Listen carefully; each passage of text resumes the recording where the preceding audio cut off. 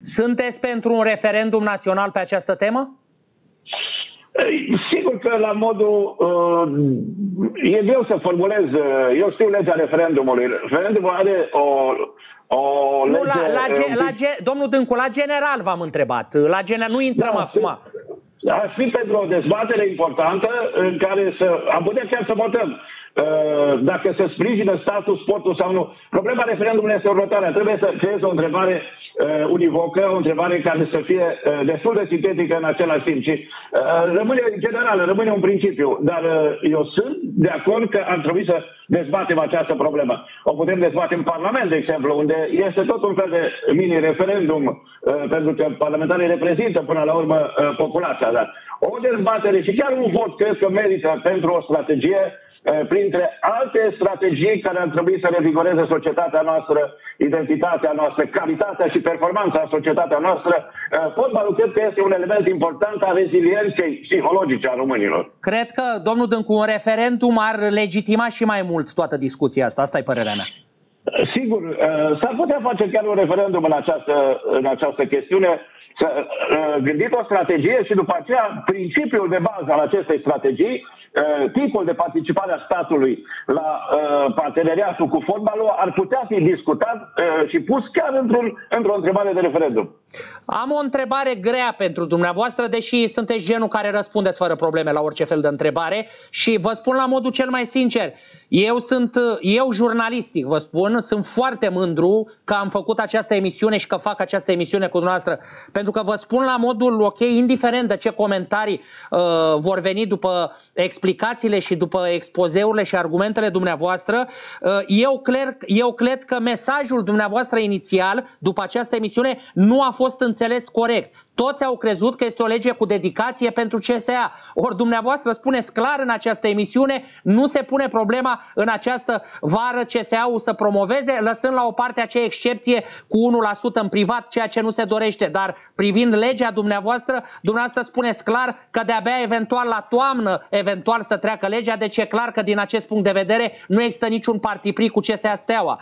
Apoi, toate lucrurile care le-ați spus și cum ați vorbit despre fotbalul românesc, repet, eu chiar sunt mândru că am făcut emisiunea asta jurnalistic, pentru că, încă o dată spun, cred că de-abia acum mesajul real al lui Vasile Dâncu se înțelege clar. Iar mesajul lui Vasile Dâncu, eu asta am înțeles. Dacă dumneavoastră sunteți foarte abil și m-ați păcălit și pe mine, jos pălăria, dar eu sunt cam greu de păcălit, credeți-mă.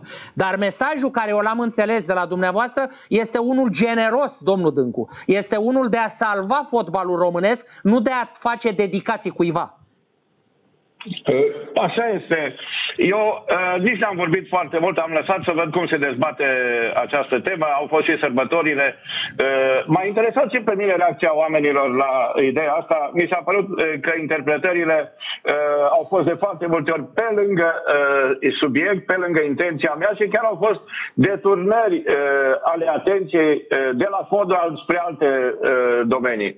Deci eu, asta am vrut să spun că trebuie uh, ca în acest moment să fim îngrijorați îngrijorați de ceea ce se întâmplă, că nu putem accepta, de exemplu, o nedreptate, dar asta este o chestiune care este particulară mai degrabă. Și că statul uh, ar trebui să se implice în obținerea performanțelor sportive. sportive. Uh, și fotbalul este foarte important. Asta am vrut să spun că uh, nu trebuie să luăm, să considerăm că fotbalul este un lucru printre alte lucruri.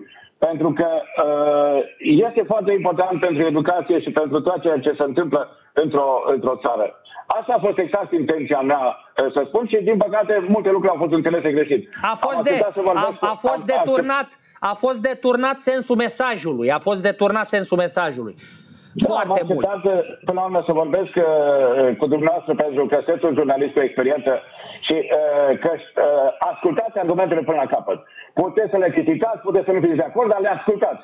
Și asta este, uh, după părerea mea, destul de rar în ultima, în ultima vreme. De aceea uh, sunt bucuros că am putut să uh, uh Ma, spun ceea ce cred Mai am, uh, domnul Dâncu, cu amabilitatea dumneavoastră, o să vă mai rog să mai stați cu noi doar 50 minute, atâta, pentru că mai am două, trei întrebări care sunt, să spunem așa, mai directe și mai dure și pe care trebuie să vi le pun în calitatea mea de jurnalist, cum m-ați lăudat și vă mulțumesc. Să știți că și eu sunt unul dintre oamenii care vă consideră uh, o personalitate în momentul de față. În, iar cu această inițiativă, în mod sigur, uh, veți fi o personalitate și pentru următorii ani. Și mai ales dacă va trece, chiar fără să folosesc cuvinte mari, dacă va trece și va trece această lege cu modificările în forma corectă, adică cu echidistanță și față de cluburile departamentale și față de cluburile private, chiar veți intra în istorie pentru că va fi o revoluție pozitivă pentru fotbalul românesc.